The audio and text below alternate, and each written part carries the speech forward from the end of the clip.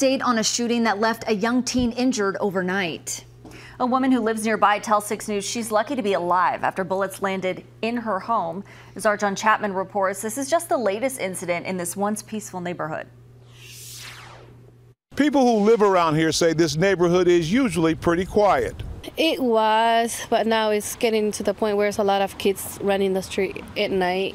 Angelina Lopez says things have started to change in her neighborhood near 40th and Frederick. She noticed the change on her security camera recording last year. Back in November, they um, there's like maybe five, six teenagers walking around like they own the street, stealing from my car. They actually broke into my car back in November and stuff. Early this morning, things got more serious in Angelina's neighborhood. A teenager was shot on the street. Police believe the teen was one of a group breaking into cars in the area. Police say the group was confronted by the vehicle owner and the teen was shot. All of this happened close to Angelina's home. She didn't think it was real. I was sleeping and I I thought I was dreaming. Like it was like crazy and just I just I thought I was dreaming like right and I just got up and ran and saw my kids and if they were okay and I looked out the window and there was like police everywhere, ambulance. Ellen Beebe knew it was real. One of the bullets traveled through her home. The bullet came through the house here. Mm-hmm.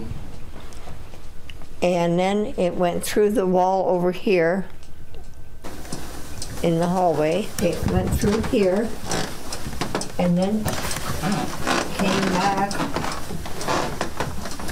behind the door and the police found the bullet on the bed. Police tell Ellen it's a good thing she was sleeping in the other room when the gunfire broke out. He said, if I was in this bed, I, would, I wouldn't be living today. I would, I'd be gone. That's what the policeman told me. Both women are very concerned about what happened early this morning. They're also concerned about their neighborhood.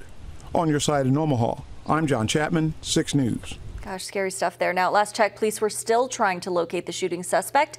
Anyone in that area who has damaged their vehicle or cameras on their homes are asked to contact Crime Stoppers. The U.S.